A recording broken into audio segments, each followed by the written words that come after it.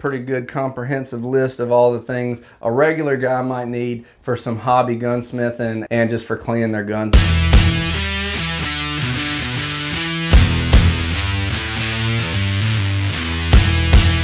How's it going guys? Welcome back to the Pilot Patriot channel. Today we're going to be talking about how to set up your basic gunsmithing or gun cleaning workbench. Now this isn't going to be for your professional gunsmith. This is just for the regular guy that's interested in guns and uh, at the very least needs to clean those guns, but also likes to get into some basic gunsmithing and uh, building AR-15s and things like that. If you like this kind of video, guys, make sure you hit that subscribe button down below. Hit that notification bell and please give us a thumbs up. That thumbs up really helps us out with YouTube. Also, as we're going along in this video, if you have any suggestions or things that you see that I should be doing better or tools on here that I don't have and I need, please comment down below. We can use all the help we can get. So let's get right into it. As you can see on this wall behind me, I'm utilizing some slat wall panels. The slat wall I'm using is actually a plastic or polymer slat wall. Um, I think it looks a little nicer. It's also going to hold a little more weight. You can also use pegboard or even plywood with some nails driven in it would work fine. You're also going to need some type of work surface. Um, I built my own workbench here. It doesn't require anything super special. You can build your own or you can buy one from one of the big box stores. Those work fine too. But let's get this camera turned around and we'll talk about some of the stuff I have on this workbench. All right guys, first we're gonna talk about the bench itself. I just used a two by four frame with some one by material on the top. That works fine for my purposes. Um, if you think you want something thicker, you can laminate two of these together to add some thickness or just use some two by material. You are also gonna wanna put some kind of finish on there to protect the wood from the oils and cleaning solutions and stuff that you're using with your guns. Along those same lines, you can see I am using a TekMat. Uh, these things are great. It gives you a nice soft protective surface to work on as well as most of them give you a nice reference of all the different parts and things like that if you need that reference while you're building out your guns. I also have a smaller one here that I can use with my handguns if I want to. Next thing all gun workbenches should have is um, some type of vise. This is a four inch clamp on style vise from Wilton. Along with that I have uh, several different accessories, different attachments that work well for holding your guns and barrels and things like that. Now along with your vise you're also going to want to have um, several different types of bench blocks for whatever guns you happen to be working on. These are my AR-15 bench blocks. Underneath the workbench there, you can see I do have a uh, swivel bench stool and a small trash can and of course some paper towels cleaning up. Now let's get to the stuff up here on the wall. This is going to be in no particular order. I'm just going to start over here. I'm to work my way over. First thing I have here is a digital Lyman trigger pull scale. Uh, that's nice for if you're swapping out triggers. You need to test to make sure what your trigger pull is. Uh, for me personally, I do a lot of reviews, so this comes in handy so I can show you guys what the trigger pull is on different guns. Also up here on this shelf is my Wheeler hammer and punch set. This is a pretty nice little set here. It has several brass punches, some plastic punches, steel punches, and then of course the hammer with two different uh, hammering surfaces. It has a polymer surface and a brass surface. That's important to make sure you're not marring up the finish on your guns. And I will link to all these products in the description below so you can get them for yourself. Up here is just a uh, small socket set that has all the small sockets and bits that you may need for mounting different sights and accessories and things like that on your guns. That comes in handy.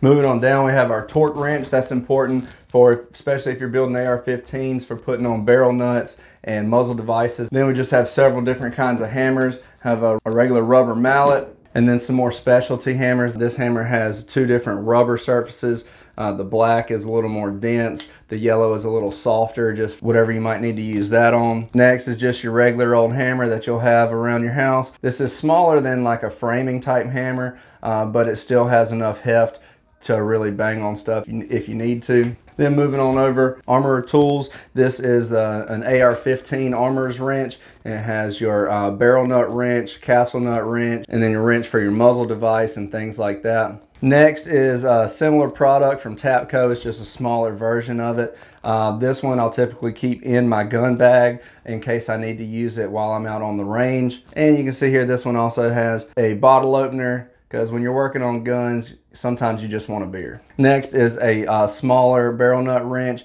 This is designed to be used with your torque wrench. In this roll here, we just have a set of roll pin punches. Uh, you don't have to spend a lot of money on something like this, but you do want to make sure that they're going to hold up well over time. So uh, roll pin punches are a must when you're working on guns. Down here below that on the bench is another must-have on a gun bench. This is just a little magnetic tray for putting in all your screws and pins and things like that. The last thing you want uh, when you're putting your guns back together is to find out that you lost a screw. So this is going to help make sure that doesn't happen.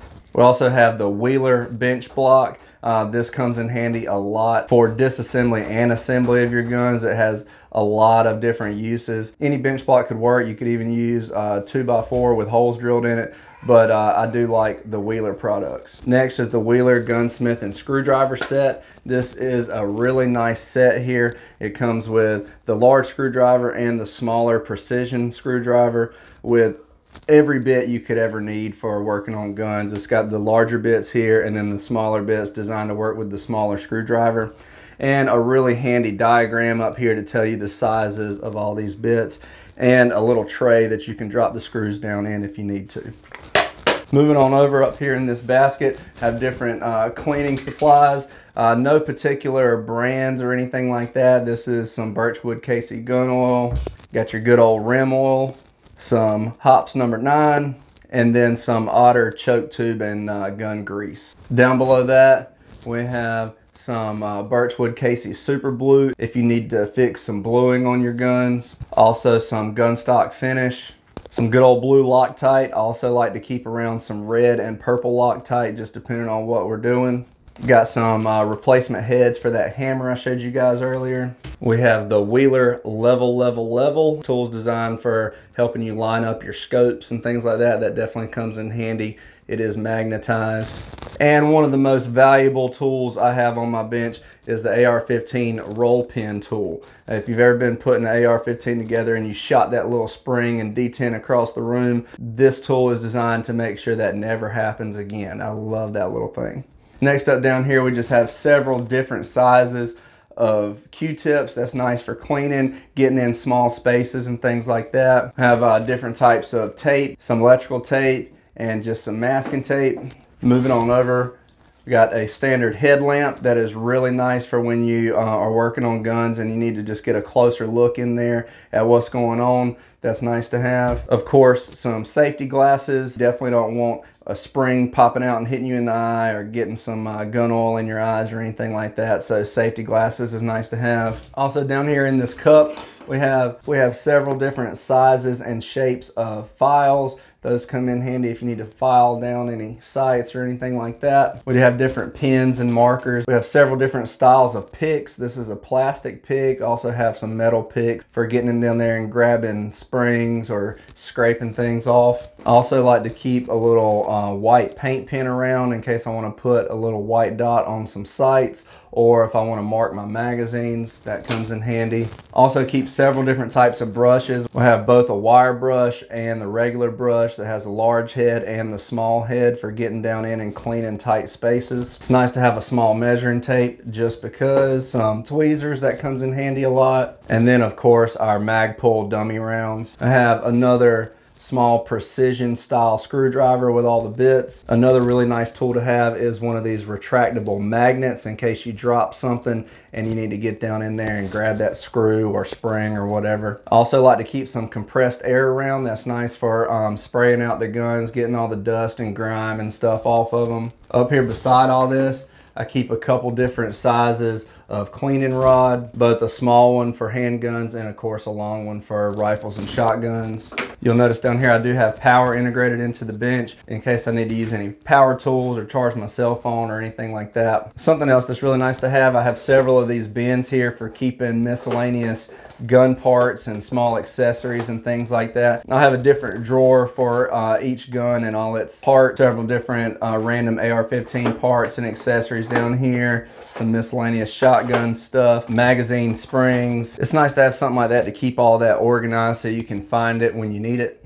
And then up here on the top of the bench, guys, we do have a work light up there. I believe that's a Honeywell LED light. Uh, it also has a Bluetooth speaker in it so we can jam out while we're working on our guns. Above that, I have a shelf and right now that's just holding some extra gun cases and then that black pouch up there is my Otis gun cleaning kit. I'll pull that down and show that to you real quick. All right, down here with that uh, Otis kit, I just have another gun cleaning mat so I can help protect my bench. The Otis kit is a really nice one. It has every type of wire brush you could possibly want, all the way from 22 up to 12 gauge. It also has a little smaller kit here with the more used brushes, and then of course your uh, attachments for your patches, and then your pull-through cable. Of course, we got plenty of cleaning patches, just more of our different cleaning supplies and oils and things like that. The Otis kit also comes with some optic spray to clean off your scopes, as well as a little brush for cleaning out your optics. More brushes, another roll pin punch set.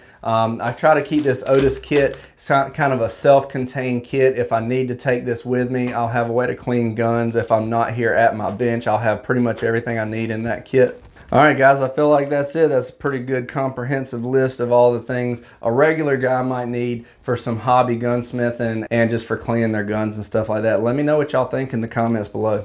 All right, guys, that's it for my gunsmith and gun cleaning station. Let me know in the description below if there's anything I need to add or anything that you guys would do different. I definitely appreciate some constructive criticism, so definitely make sure you comment below. If you like this video, guys, make sure you hit that subscribe button down below, hit that notification bell, and definitely don't forget to thumbs up. That really helps us out.